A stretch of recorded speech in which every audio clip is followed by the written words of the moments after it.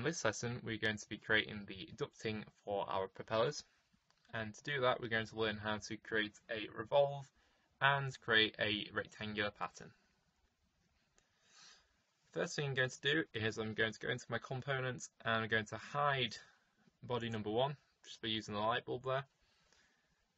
And we're going to create a new sketch on this plane here and we're going to create a rectangle by using selecting this icon at the top on our toolbar and I'm going to create a rectangle 6mm by 1.5 on the red line there. The next thing I'm going to do is I'm going to dimension this rectangle away from our origin by 17mm. To do that we can go sketch and then go to sketch dimension or press D on the keyboard. I'm going to select the rectangle and then select the origin and we're going to dimension the rectangle 17mm away from the origin and then we can stop the sketch. Next thing I'm going to do is I'm going to go create and revolve and I'm going to select the profile I want to revolve which is the rectangle. The axis I want to revolve around is the green one there. And you can see it has now revolved that profile around the green axis, creating a ring. And press OK. And that is one of our, of our ductings. So now I can bring back body one and I'm going to move the ducting to one of the corners of our drone.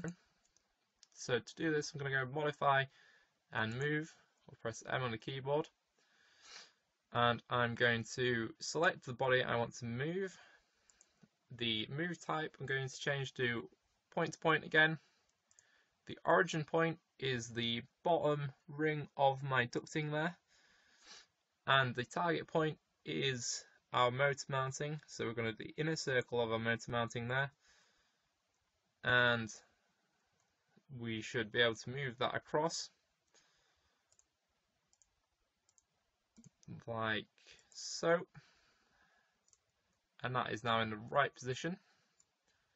Next thing I need to do is I need to create three more of the ductings. To do that I'm going to go create and then pattern then rectangular pattern. And I'm going to go to change the pattern type to bodies I'm going to select the ducting and then the direction can be on this blue line here. I'm going to drag this arrow outwards by minus 47 mil there.